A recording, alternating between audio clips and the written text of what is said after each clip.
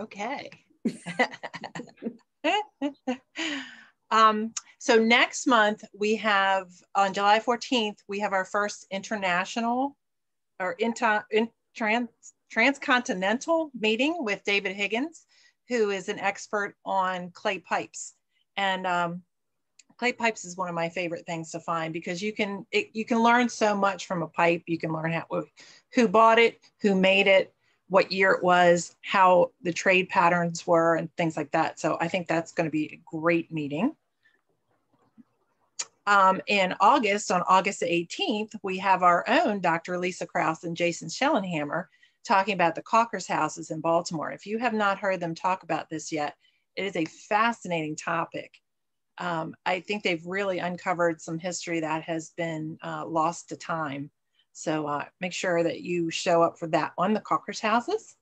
And in August, we're going to have our very first in-person meeting since March of 2020. And we are going to be doing um, artifact cleaning and cataloging, and I hope to get done the Glen Ellen collection. Um, I think Jason's going to have some from different projects, so there'll be plenty to do. Now, we do have to limit it to 20 people, so if you're interested, make sure that you go ahead and register for that. Um, I'm not sure if this is going to be September or October yet. I need to uh, uh, get a date um, down with Dr. Britton, but um, he will be talking about the Irish immigrants of Texas, Maryland, and that's a fascinating topic in itself. Um, if you if you're familiar with the Cockeysville area, um, Texas used to be a part of the, the quarry. All that was part of the uh, a huge Irish wave of immigrants that happened in 1847, 1848. That was part of the potato famine and also part of um, where they were kicked off of the land. So um, that's real. That's a really interesting topic as well. And I forgot to put this on the slide, but this is going to be another in-person event. I think it's going to be October 9th, but we'll certainly let you know what the date's going to be. We will have a pontoon boat tour of Jug Bay. Um, they usually do that once in the summer. And I asked if they would do it just for our club and they said they would. They, again, they have to limit it to 20 people just because of the size of the boat. But um, I think that'll be a very cool event as well. And for November, for Thanksgiving time frame, we're going to have Henry Ward. You guys might be familiar with him. He's going to talk to us about, uh, he's actually going to give us a cooking demonstration and talk to us about indigenous foods and native cuisine of the Chesapeake Bay region. And the um, Adrian talked about this. This is this month's raffle. It's only $5. So there's some beautiful, beautiful things here. And Adrian talked about it more in depth because he has way more knowledge about it than I do. Um, just to remind you, these are our social media sites if you want to follow us on here. And we also have the Redbubble site. It still has some of the cicada mandalas on there. So if you want those, if you're if you're missing the cicadas, now's your chance to to get your, I have the uh, mask, so that's pretty cool.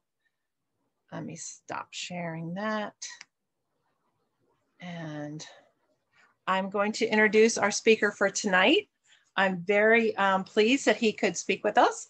It's Dr. Zachary Singer, and he received his PhD from the University of Connecticut in 2017. Zach is a research archaeologist for the Maryland Historical Trust. His research interests include Eastern North American archaeology, Paleo-Indian lithic technology, three-dimensional digital modeling of artifacts, and geophysical remote sensing. And tonight he's going to talk to us, he's going to give us an overview of the Paleo-Indian period in Maryland based on the data from the statewide Maryland Fluted Point Survey. So if you want to start sharing now, Zach, feel free. I'm going to mute myself. Well, thanks, Ilka, for inviting me to speak tonight to the Natural History Society, the Archaeology Club. Uh, can everyone hear me all right and see my presentation? Cool, thanks for shaking your head. Uh, and thanks for the people who, who came on such a wonderful night. I know it's really beautiful outside, so I appreciate you uh, spending your time inside listening uh, to my talk. Uh, so again, I'm Zach Singer. I'm the research archaeologist at the Maryland Historical Trust. I've been there for about a year and a half. Uh, doing all sorts of uh, fun things, remote sensing, using ground penetrating radar uh, to find buried historic structures and some uh, prehistoric uh, structures, which is pretty cool. Uh, I'm also in charge of the archaeological synthesis database. And so if you haven't seen that, it's it collates and provides public access to all of the phase two and phase three archaeological studies in Maryland. So if you're interested in learning more about archaeological sites in Maryland, it's a great resource. Um, but the other thing that I was really excited to do when I when I became the research archaeologist at the Maryland Historical Trust was to restart the Maryland Fluted Point Survey. Uh, my dissertation research was on Paleo-Indian archaeology in Eastern North America, uh, specifically in New England. Uh, but I'm from Maryland, and I always wanted to have my career in Maryland. So I was really fortunate, and uh, I still am fortunate to uh, now be in Maryland uh, as an archaeologist. And so when I when I got this job at the Historical Trust, I said one thing I really really want to do is restart the Maryland Fluted Point Survey. And so uh, that's the topic I'm going to going to discuss tonight is the Maryland Fluted Point Survey and what we can learn about the Paleo Paleo Indian occupation of Maryland, which is between 13,000 years ago and 10,000 years ago. Uh, so I guess first off, looking at the photo on the title screen, when most people think about Paleo Indians, I think this is kind of the base idea that we think about. And that's hunter gatherers who hunt big game. So in this case, you see a group of Paleo Indians throwing uh, spears at a mastodon or a mammoth. I don't know which, probably a mammoth. And so that's usually what we think about. Uh, and so that kind of brings up a few ideas. One, there aren't any mastodons or mammoths around today.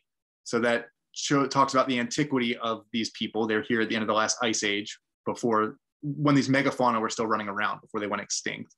Uh, but the other thing that at least I always think about is how we can study these people archaeologically. And the way we do that is through the material culture that they left behind since most things, most organic materials rot away over time, especially in the acidic soils of Maryland, the primary thing that we have to study these people from so long ago are their stone tools, because the stone typically is, stays well preserved. And so if you look at this image of these Paleo Indians hunting this mammoth, you can see that they're wearing organic, they're wearing hide clothing. They have uh, they have these spears and there's wood on those spear uh, uh, wood shafts and then they're uh, using some sort of sinew probably to tie these stone points onto that sinew uh, onto the shaft. Archaeologically all we'll get from what might be a mammoth or mastodon hunt would be just the most likely just those bone tips. So we're seeing one very small piece of this whole uh, whole life of these people and we use that little bit of evidence to try to learn more about how these people lived and how they organized their campsites and how they moved around Maryland, so on and so forth. So that, that's what we'll talk about tonight.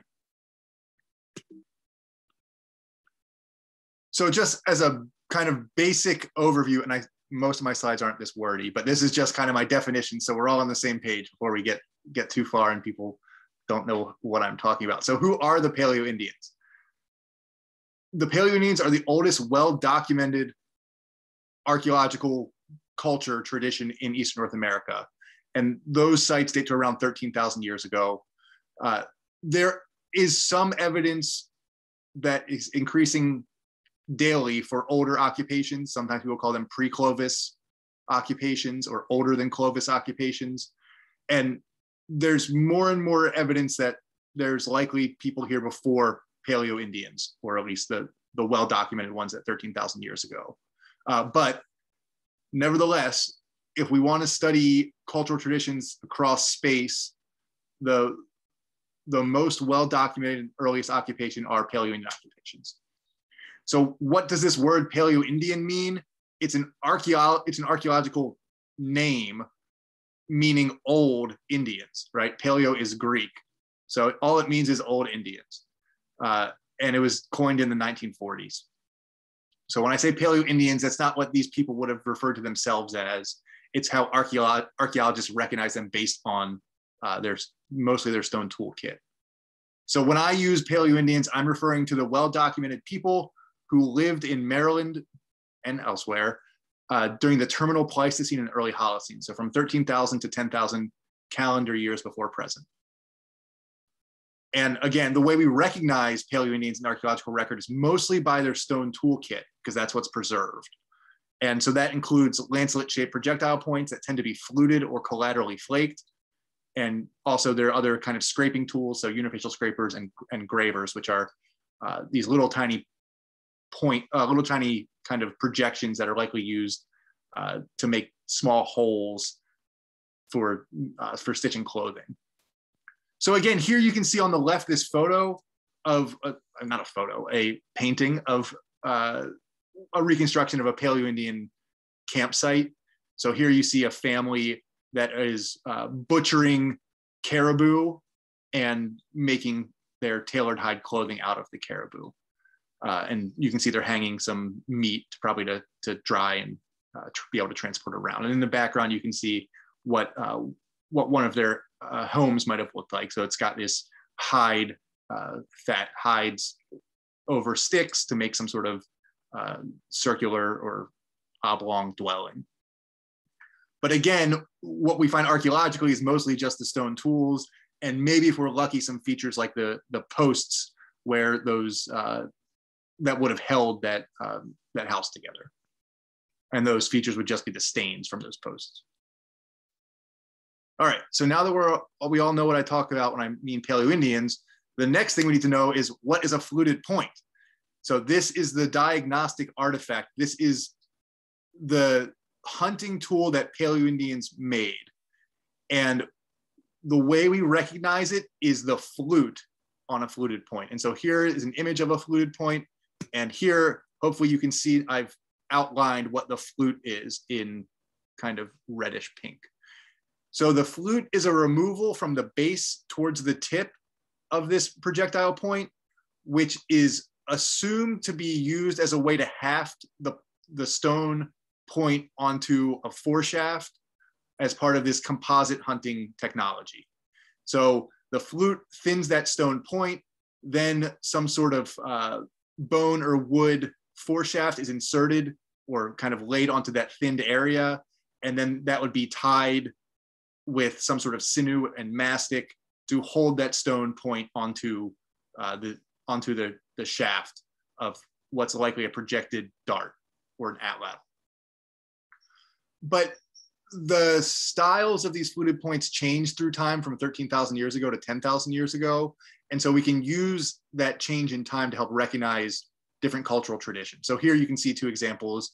On the left is a Clovis point, and it's again, it's just a and drawing. And on the right is a Folsom point. But you can see pretty drastically the different length of the flutes. So on Clovis, it's less than halfway up the point, and on Folsom, it's going all the way through the tip. So that's a very easy thing to recognize in a, in a stone projectile point, and it has something to do with uh, with a change in the idea of the best way to haft one of these stone points onto a onto a, a foreshaft. So building on that idea, here's just a, some different examples of, of Paleo-Indian points that are hafted.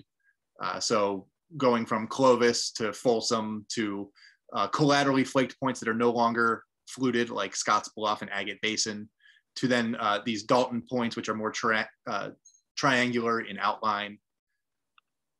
And when we think about fluted points and change through time, it's again, what's happening is there's a change in the what people think is the best way to tie their projectile to their foreshaft. And we know that styles change through time, right? You can look at this woman here with her, maybe it's Farrah Fawcett, with her hairdo and with her bell bottom jeans and with her skateboard. And we can tell that's not the present day, right? Because we today think that there's a different way to be fashionable. But in the 70s, this was the fashionable way. Similarly, look at this the difference in the jeans from Brad Pitt in 19 in the 90s. So we have from the 70s these long bell-bottom jeans. In the 90s, we have these straight leg jeans.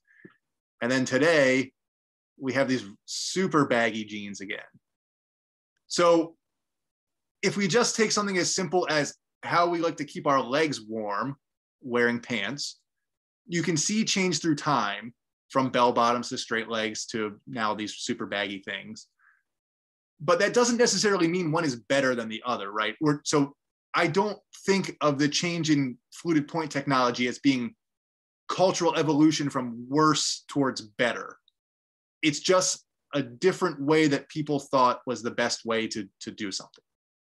So that's kind of how I think about it. We can look at change through time in clothing and think about change through time in projectile points and don't always equate newer as better. But how do these fluted points get found? So the exciting thing is that sometimes they're fortuitously found, so randomly. People are out just enjoying themselves on everyday in their everyday life and stumble across a 13,000 year old artifact. So here's an example from the Smithsonian magazine from 2014. Uh, a young fellow was boogie boarding in New Jersey, probably in Ocean City, and thought he got bit by a crab. He felt something on his foot. So he bent down to see what had bit him. And lo and behold, he picks up this 13,000 year old stone projectile point, a Clovis point. So a random chance fortuitous occurrence. So uh, people who are on this call, you could be out gardening in your backyard, you could be out hiking, doing all sorts of activities and perhaps stumble upon a, a prehistoric artifact, um, which is really cool and really exciting. And at the end of this talk, I'm going to talk about ways that you can help uh, spread awareness for those, those chance fortuitous discoveries. Um, but so that's, this is one great example. Um, and maybe when people are enjoying themselves in Ocean City this year, Ocean City, Maryland, they might uh, get so lucky. Here is the distribution of Clovis points across North America. And this is from the Paleo-Indian database of the Americas. So they've, in, in this database, there are about 12,000. I'm sure there's more now. This is from 2010, so it's a little outdated. So these are about 12,000 Clovis points that have been documented and reported uh, to the Paleo-Indian database of the Americas.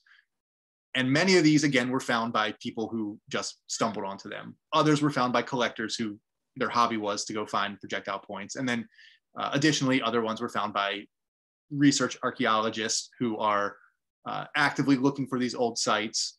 Uh, and then the kind of last way these thing, things are found is through uh, development uh, of properties and cultural resource management.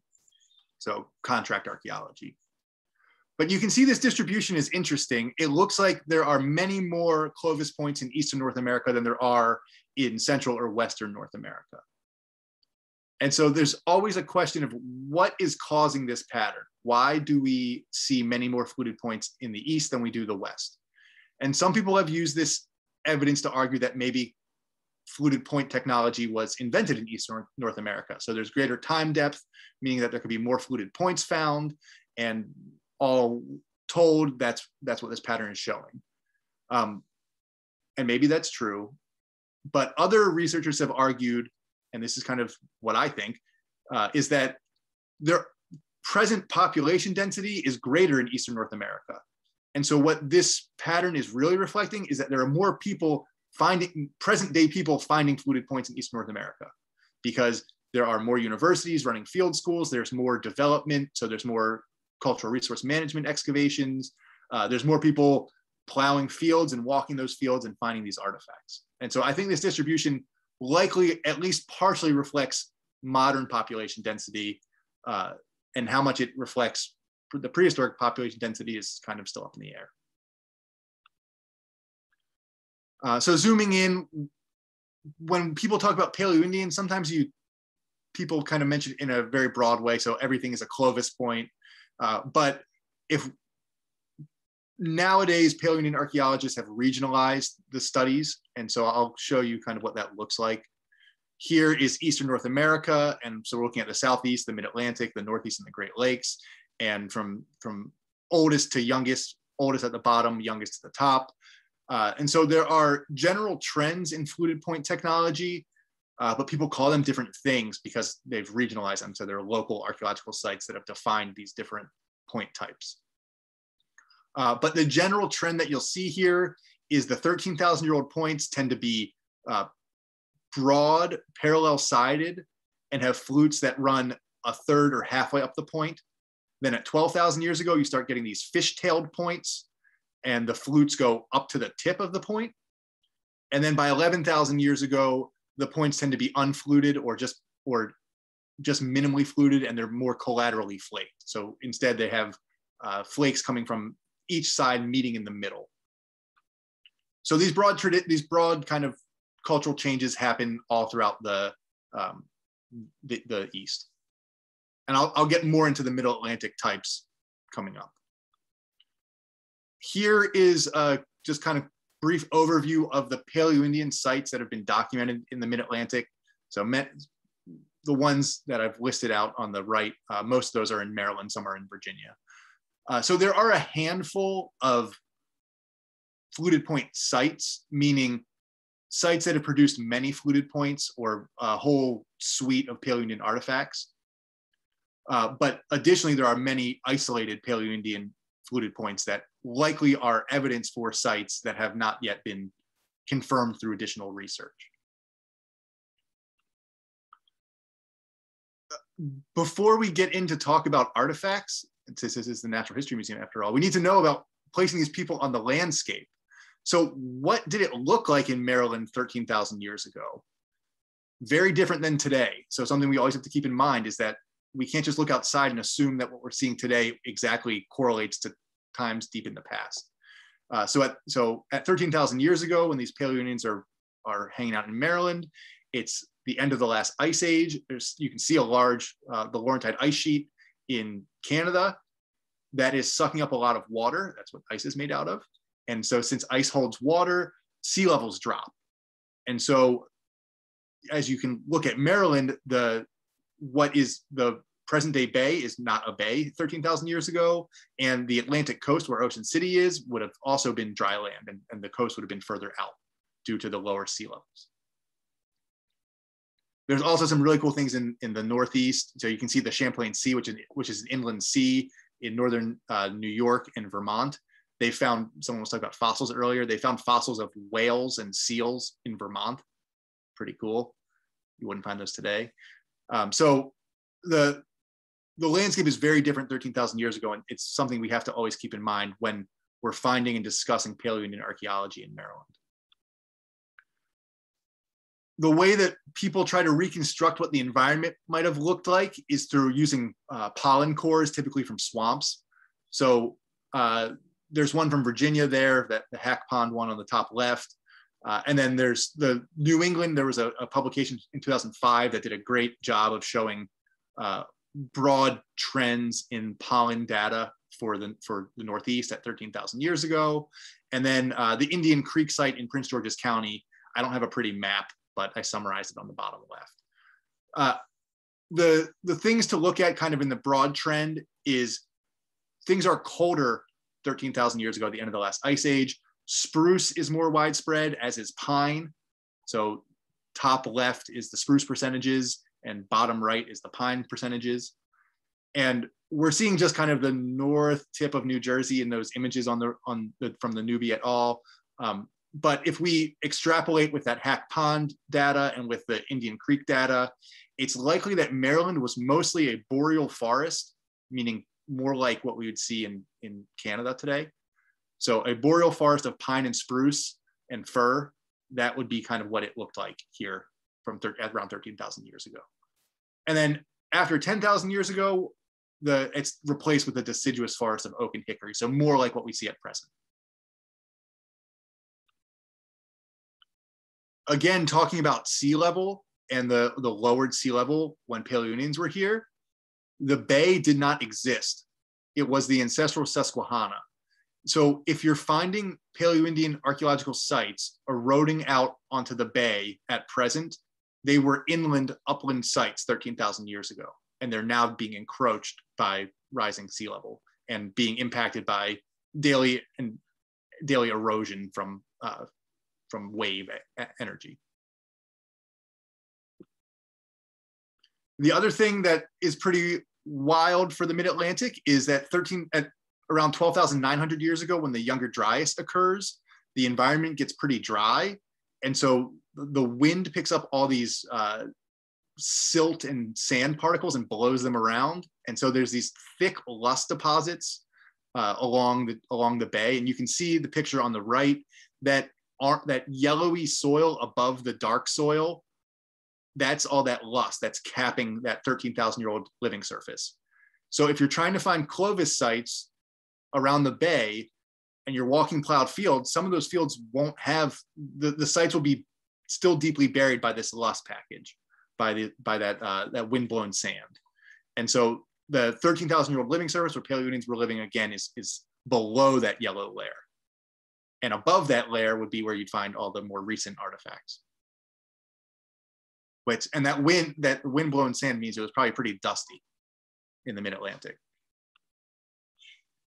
The other thing that I think a lot about, and this is something I'd love to talk to the, the, uh, the Fossil Club about uh, in more detail, is again, the things that we have for studying Paleo-Indians in the past are their stone tools. And so we have to think a lot about geology and where Paleo-Indians might have accessed these stones and how they're transporting around the landscape. So here's just showing some of the different areas where, where stones were collected and uh, accessible to Paleo-Indians. Uh, again, knowing that the bay did not exist and present, so there could be resources that are now submerged that Paleo-Indians were able to access 13,000 years ago that we can't at present. So I'll talk about some of these in a little more detail.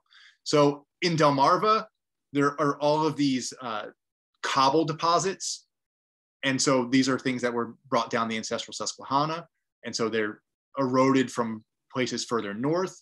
And there are many cherts, which are a cryptocrystalline stone, uh, basically silicon dioxide, which are easy to, to make stone tools out of. They're, they're easy to have a controlled fracture and they're highly prized by Paleo Indians and, and tend to be used widely and uh, and when they're available, they tend to be preferred because it's a, a, very nice stone that's easy to make reli- to, it's reliable to make stone tools out of.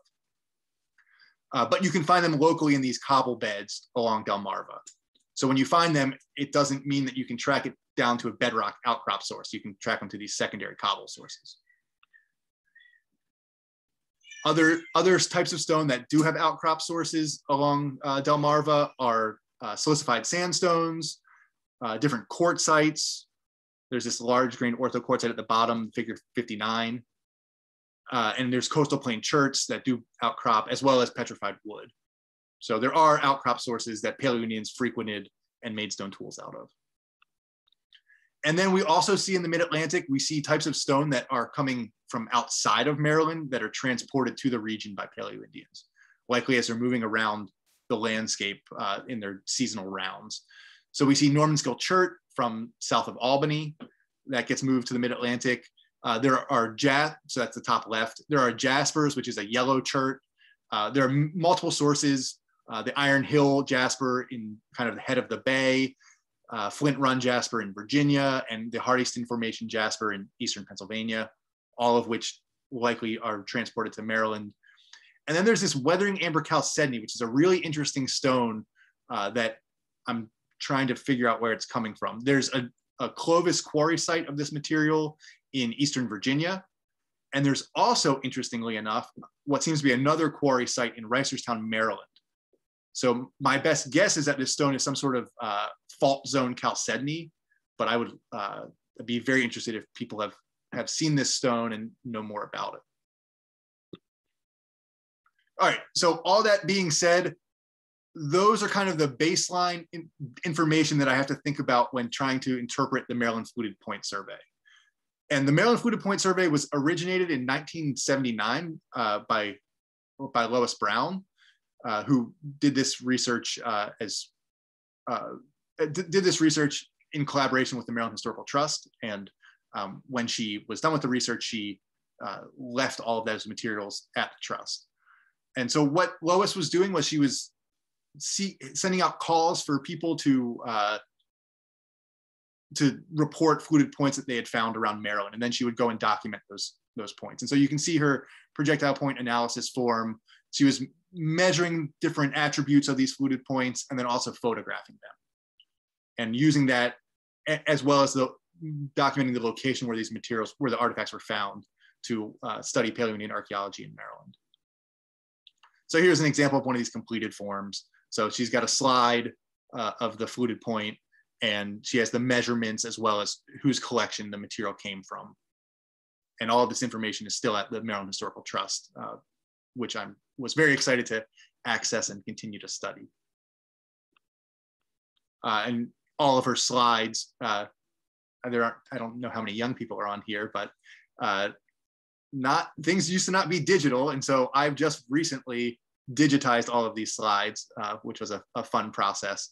Um, but now they're more accessible um, and preserved forever digitally. So Lois's uh, study, she mapped all of the fluted points that she had documented and uh, she identified them by, by different cultural traditions using Bill Gardner's typology. So that it, you can see there are three types. Clovis, which would be the earliest middle Paleo-Indian, again, in the middle, and then Hardaway Dalton, which would be the latest type uh, in terms of time. And she plotted them across the state. And you can use her distributions to compare with things like fossils to perhaps think about where Paleo-Indian archaeological sites are in relation to fossil-bearing sites. And we know there is some overlap between the these megafauna and Paleo-Indians 13,000 years ago.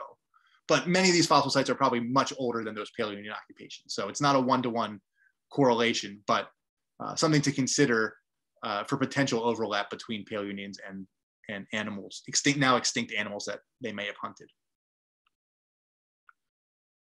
So getting into my thoughts about the Paleo-Indian the, the Maryland Fluted Point Survey and the types of fluted points represented in the survey. Again, Lois Brown and, and still in, in Maryland Archaeology Month poster in 2013, uh, the way that people in the Mid-Atlantic tend to organize fluted points is with Bill Gardner's typology, which is that there are three types. There are Clovis points, which are the oldest, Middle Paleo-Indian, which are in the middle, and then Hardaway Dalton, which are the youngest. And this is based on Bill Gardner's work at, at Thunderbird and the Flint Run sites in Virginia. And here you can see the artifacts that he used to define those types. There are Clovis points on the left. The kind of upper row are his mid paleo points, and then the bottom row are his Hardaway Dalton points. There aren't very many. And these are from a quarry site, meaning that typically what you're finding are the things that were broken in production and rejected. They're not the artifacts that were made to the template that was wanted and carried off to be used in other places. So getting back to this typology, you can see the Mid-Atlantic's pretty sparse. We don't have any name types. They were using Jack Wranischke's uh, typology from 1994. Uh, but these other areas like the Northeast and the Great Lakes more recently redefined the styles of fluted points that they found or could be found uh, based on local sites. And there are many more uh, types present in the Northeast and the Great Lakes. Uh, well, as was mentioned, I did my dissertation research on Northeastern Paleoindian archaeology. And so when I moved back to the mid-Atlantic, I was uh, seeing all of this variability in the fluted point types in the mid-Atlantic that was being lumped together by using Bill Gardner's typology. And so I'll, I'll show you that. Um, again, here's the New England typology for the for northeastern North America and compare that to Maryland. So in northeastern North America, there are many more types to represent the people who were in that region from about 13,000 years ago to 10,000 years ago. And in the mid-Atlantic, that's lumped into three types. Uh, so coming from this northeastern background, I have reanalyzed the Maryland Fluted Point Survey, Lois Brown's uh, Fluted Point Survey, to look at how much variability might actually be present in there and there's much. So here are Clovis points. These points are, these are the oldest, they're 13,000 years old. They're recognized by the uh, very shallow basal concavities and their short flutes. And you can see the, a variety of raw materials present. Quartz, quartzite, weathering amber chalcedony, jasper. There are Gainey-like points. These are a little bit younger.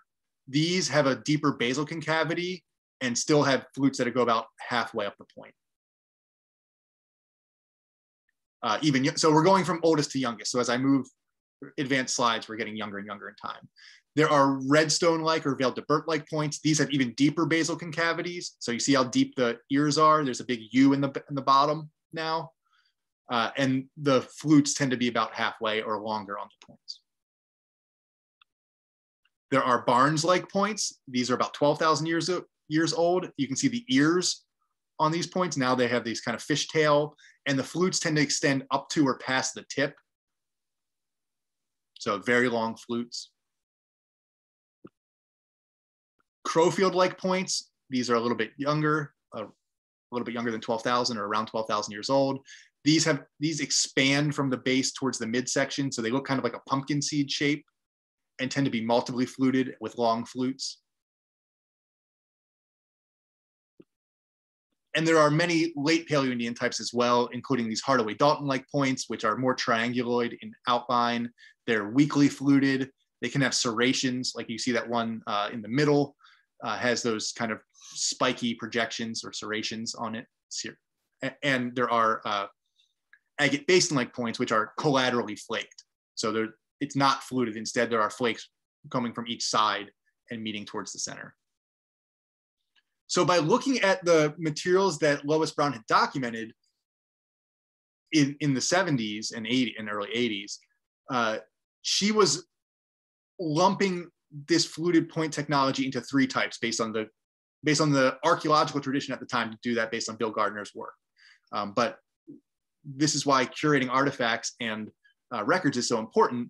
We can reanalyze these ideas with as ideas change about how to best uh, sort and identify different different cultures through time, and now have recognized that it seems that there's much more uh, variability in the Maryland fluted point assemblage, showing that uh, that cultural time depth and uh, and nuances from 13,000 years ago to 10,000 years ago.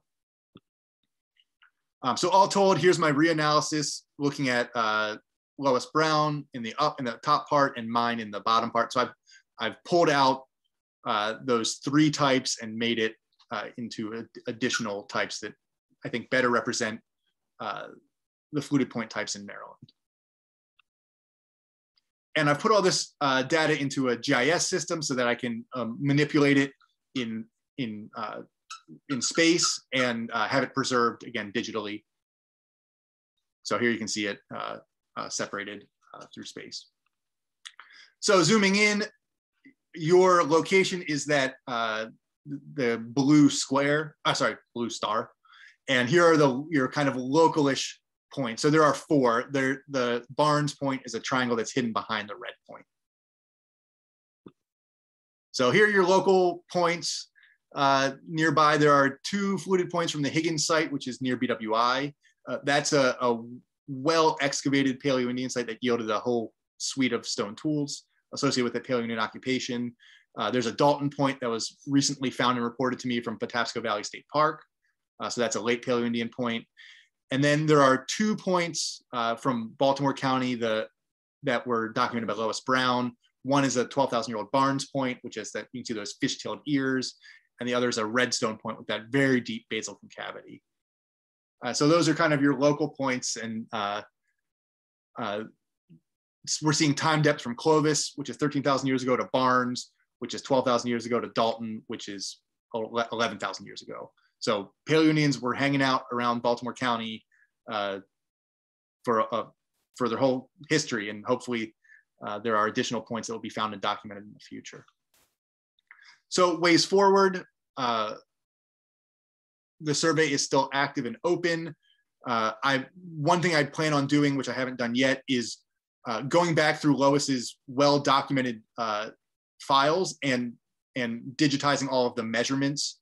So I've digitized all of the slides, but I need to still uh, make some sort of database for her measurements, and that'll be be useful for again uh, better documenting this this cultural variability in the fluted point types through uh, time and space in Maryland. There are many additional points that people know about that I'm hoping they will uh, submit to me and submit to the Maryland Fluted Point Survey. Uh, so for instance, Darrin Lowery has documented 115 fluted points in Delmarva. Uh, and so I keep asking and hopefully he, and he, he does share his data, but I keep asking for him to keep sharing his data uh, so that we can add all of those fluted points to the Maryland Fluted Point Survey.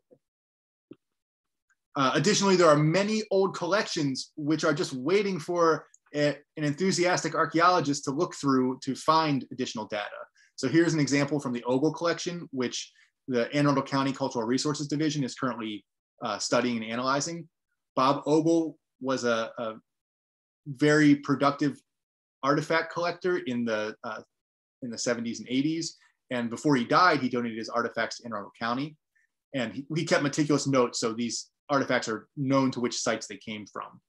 Um, but they were in these coffee cans. And now archeologists uh, with Anne Arundel County's Cultural Resources Division are dumping through these cans and sorting uh, the artifacts and taking them up to modern collection standards.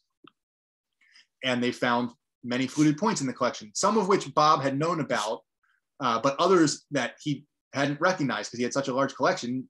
Not everyone was identified uh, properly at the time. And so here is just a, a handful of the Ogle fluted points. Um, there are more, including one that was, was emailed to me today from this collection that was just found and recognized.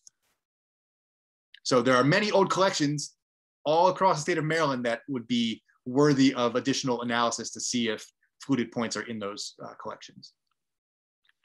And then you can contribute to this survey. Uh, so if you know of artifacts in your collection or in someone else's collection or in a in a historical society or what have you, uh, that you want to provide further information to the Maryland Historical Trust, you can now do that very easily through the MD Find app. So uh, my colleague, uh, the chief archaeologist, Matt McKnight, and I created this app in, and it's uh, in Survey 123. So it's readily accessible either through a web browser or you can download the Survey 123 app onto a smartphone. And if you click that link that is here, uh, you can download our Maryland Find app. And it has very simple instructions for how to submit artifacts that you found or that you want to report. And uh, so you'll you can submit photos of those artifacts as well as the location where you found them and some basic information. Uh, you can remain anonymous if you'd like, or you can send me your contact information or submit your contact information so that uh, we could contact you to have some follow-up discussions. So uh, you can do this for fluted points, which is what gets me really excited, or for any artifact that you happen to discover while you're out hiking in the woods or looking for fossils or whatever. Um, if you find an artifact, you can take a photo of it right there in the field and submit it on your smartphone, or you can keep track of where you found it and submit it when you get back to your desktop or your, by using a web browser. Um, so that would be uh, really great to help collaborate on the Maryland Fluted Point Survey, but also just learning more about artifacts that are being found across Maryland. So here you can see two that were reported this month.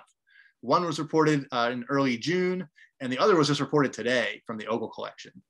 Uh, so that was very exciting. And, and fluted points are still being found and are in these collections just waiting to be rediscovered. Uh, so with that, if you want more information about archaeology in Maryland, you can visit the Maryland Historical Trust website, which is at the top. Or if you have uh, additional questions or you'd like to contact me personally, there's my email address, zachary.singer at maryland.gov. Um, there's also a blog post about MD Find if you want more information about how to submit uh, your artifact discoveries to MD Find. Uh, there's a blog, so there's the link there. Um, but if you go to a Google search and type in MD Find, MHT or Maryland Historical Trust, it'll lead you to the blog. And so with that, uh, thanks for your attention. I'm happy to answer any questions that you have. Thank you very much. This is very fascinating. I had a question. How, how do I want to phrase it? How much do you think the app will be able to expand the, the knowledge or the database of the fluted points in Maryland? Just as a guy, I know you don't know, but it it's all about it's all about buy-in from the public. So there are many collect many people whose hobby it is to go collect artifacts, and I hope that they will be willing to share that information of where they found their artifacts to help expand the database. And and some people have so far, and, and the database is growing daily. Um, but it, it all depends on public buy-in. And so we've tried to make the, the the app very easy and accessible. It's a it's really quick to complete. You can do it from a any internet, any web browser or a smartphone. Um, so it's just hoping that uh, people who have an interest and have, have found these artifacts are willing to share the data that they have. And by doing so, it helps us learn more about Maryland's history. So I hope people will continue to grow the database and continue to expand its usership.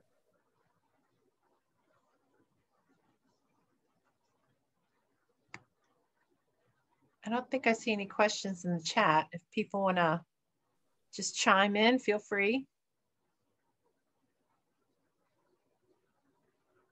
I actually, I have a question. Um, oh, whoops, I didn't raise my hand. Um, someone else did.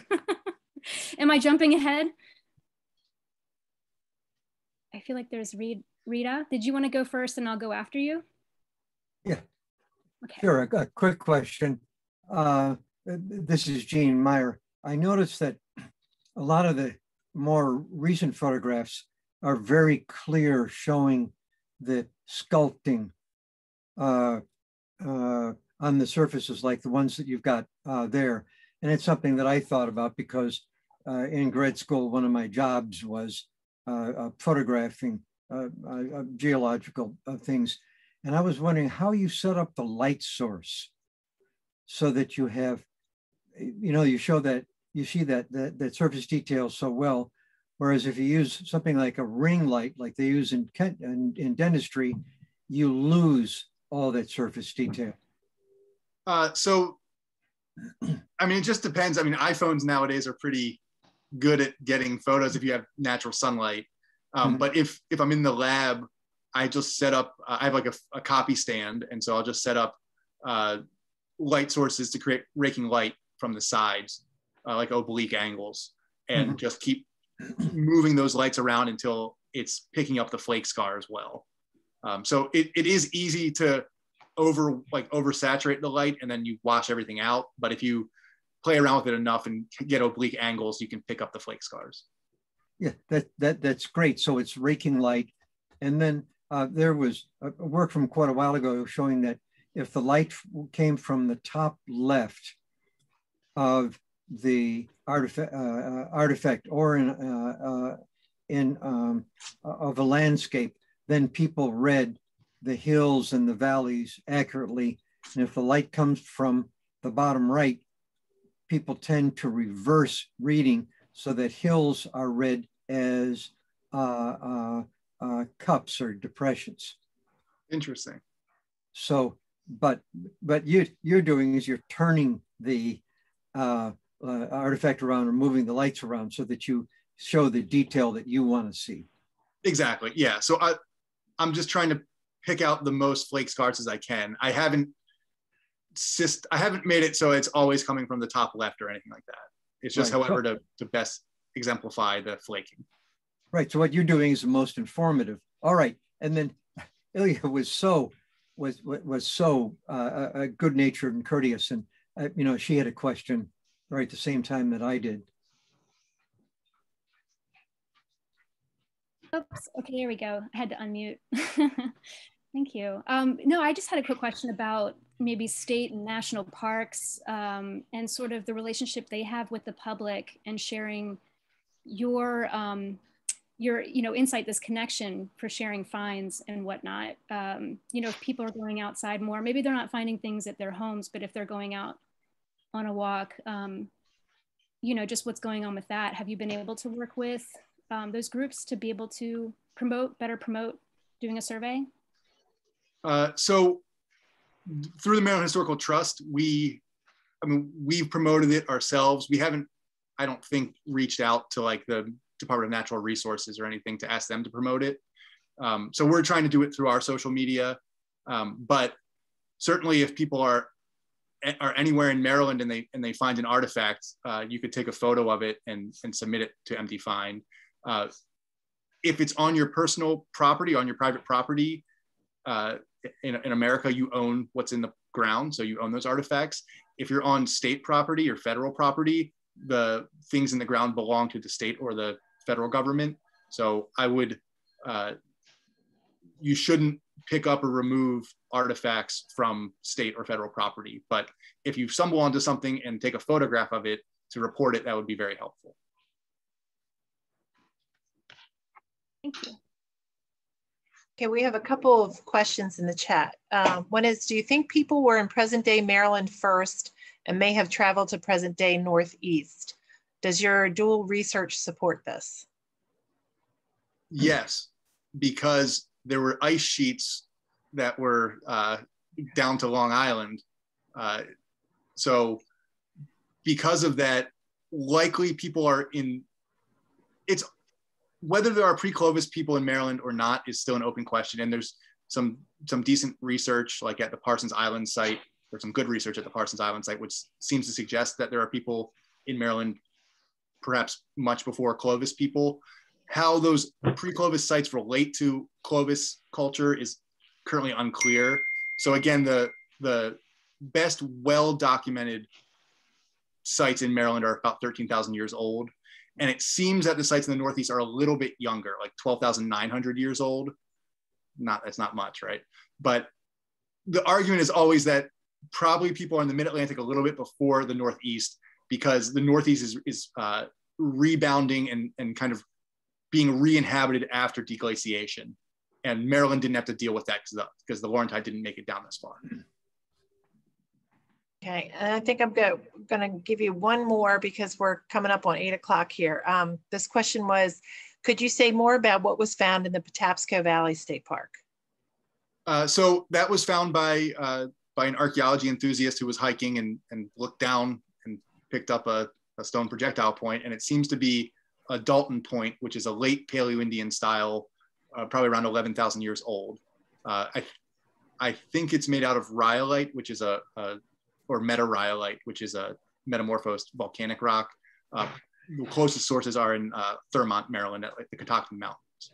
So that's my best, uh, my best initial interpretation of that projectile point is that it's likely around 11,000 years old. Okay, well, thank you very, very much. This was a very interesting presentation. Um, and uh, let's see. Do you have anything else to say, Patty, or? Sorry, here I am. I unmuted myself. No, this is fascinating. There's a lot of data. Um, um, I need to delve into this some more, but um, this is a really interesting presentation and we're very, very grateful to Zach for sharing his knowledge with us. Yes, thank you very much. I just, Thanks again for having me. I, it's my favorite topic to discuss Paleo-Indian archaeology. So I appreciate uh, your attendance and your participation. Okay, well, thank you again. Thank you. Everybody have a good evening.